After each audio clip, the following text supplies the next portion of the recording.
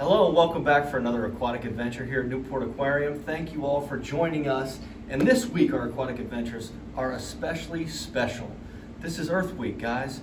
Earth Day is coming up on April 22nd and we'll have a video for you then. But this week we are dedicating all of our aquatic adventures to not only talk about the ecosystems that we've described before and some of the amazing species that we feature here at Newport Aquarium, but most importantly, I want to talk to you all about what I believe to be the most amazing biological process of all time. And as you can see, I'm standing here in a kelp forest. If you look close, we have kelp growing here. And the kelp forest ecosystem is a very, very highly productive and unique ecosystem that can be found throughout our oceans.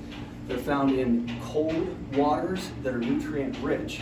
And the reason that I love kelp, which is not a plant, it's a macroalgae, but plants and macroalgae are both called producers, which make up the base of our food webs. And producers do the most amazing and unique thing. They do something called photosynthesis. So check this out, guys. We talked about ecosystems before, and we talked about the abiotic factors that make up ecosystems, like water, like dissolved oxygen, and like the sun. So plants and producers, like this kelp behind me, actually convert the sun into sugars. So have you ever thought about like, my goodness, I wonder if a plant ever gets hungry? And of course they do, but they can't run down to a drive-through and get some food. They actually use sunlight and CO2. They combine those in their chlorophyll and they create sugars and they let off oxygen. So they oxygenate the water that they live in and our land plants do the same exact thing. So this is an amazing and incredible biological process where you can take the sunlight, add CO2, and get sugar.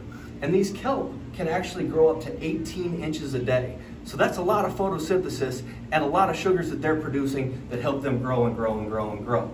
So when you have a chance, get outside, enjoy some of the sun. Even though we can't photosynthesize, it's nice to get out and enjoy this beautiful weather that we're having throughout the month of April. So I look forward to talking to you guys again. And remember, celebrate Earth Day. We celebrate it every single day here at the aquarium, and we join. We would like you all to join us in becoming conservationists, reducing our impact on the earth, and moving away from single-use plastics and living a sustainable lifestyle. Thank you all for tuning in on this very special week. Earth Week and talking about the kelp forest and the amazing biological process that's called photosynthesis.